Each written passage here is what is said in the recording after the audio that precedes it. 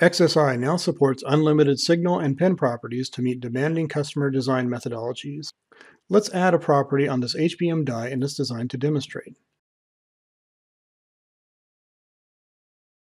We'll add a pin property quad and specify a die definition spreadsheet containing this property. This spreadsheet contains a formula providing the pin quadrant based on its position. Check the spreadsheet column mapping before committing.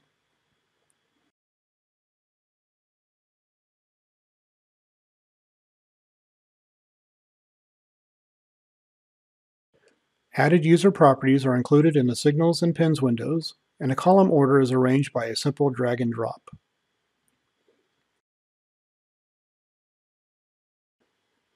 Now we can quickly filter the pins by the quadrant.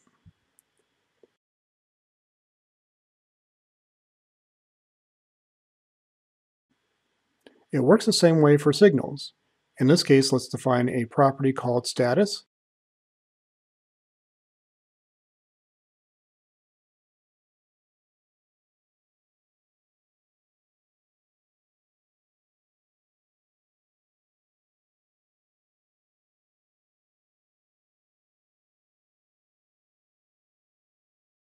and set the value to unknown for the reset, temp, CATTRIP, and CKE signals.